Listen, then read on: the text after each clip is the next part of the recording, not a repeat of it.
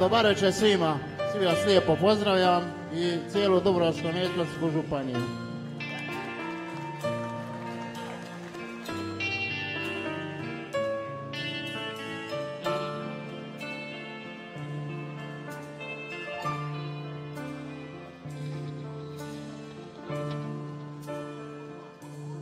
Odavno još nisam mislio o tebi među nama dani. I godine stoje nikada te više pronašao ne bi da se juče nismo vidjeli nas dvoje. Stigao sam kasno stajao na cesti i slučajno tebe ugledao tada. Ni slutili nismo da ćemo se sresti.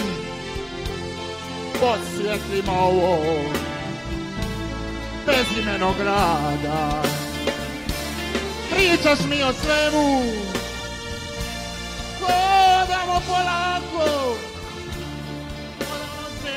nismo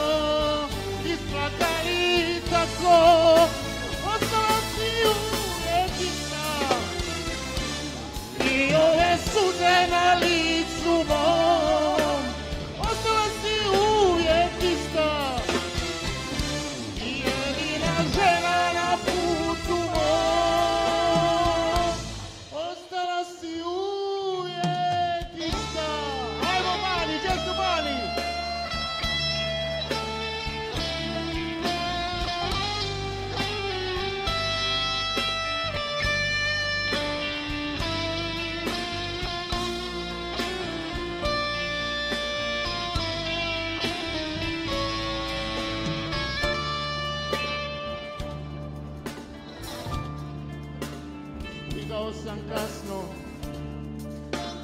Stajao na cesti I slučajno tebe Ugledao tada.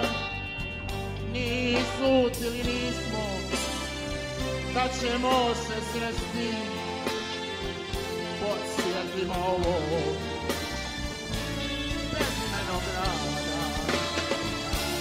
Pričaš mi o svemu